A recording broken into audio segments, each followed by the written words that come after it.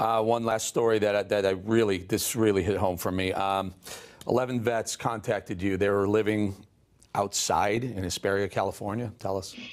Yes, a local veteran in the area had befriended them and was building a rapport, taking them food as he could. And some of those veterans had said, "We, you know, we're ready. We're we're ready for a second chance at life." But they didn't know how to do it. So this veteran has followed me on Code of Vets and saw the work that we were doing, and he said, "Gretchen, I've got these veterans who are cold. Um, they're hungry. They're living outside in a washed out, dried up riverbed."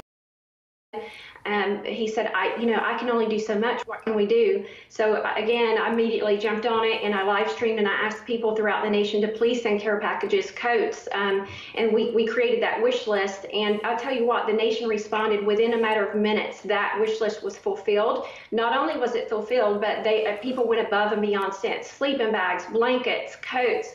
Um, Alana Stewart, the actress, saw the live stream and she contacted a friend of hers who owns a a clothing company, Brian Hogan, and he sent out boxes of clothes that were their sizes. He actually called the veteran and said, Hey, what are their sizes?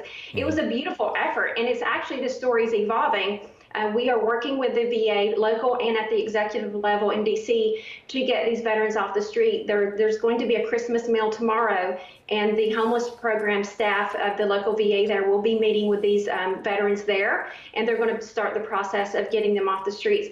Eric, I'm telling you what, we, we need uh, the light to be shone as bright as possibly on these veterans. They do not deserve to be out on the streets. They've served our country. They put that uniform on for us, and we, we all took that oath in my community. And darn it, I'm going to stand up and speak for them. When they don't have a voice, I'm going to be their voice. I'm right. excited about this. So, Gretchen Smith, codeofvets.com. Eh, listen, folks, you want to help, you need to help dig deep go there, make a contribution, do what you have to do, stay involved, spread the word. I'll tell you what I'll, I will do. I'll do two things for you, Gretchen. Number one, I met with the Secretary of Veterans Affairs.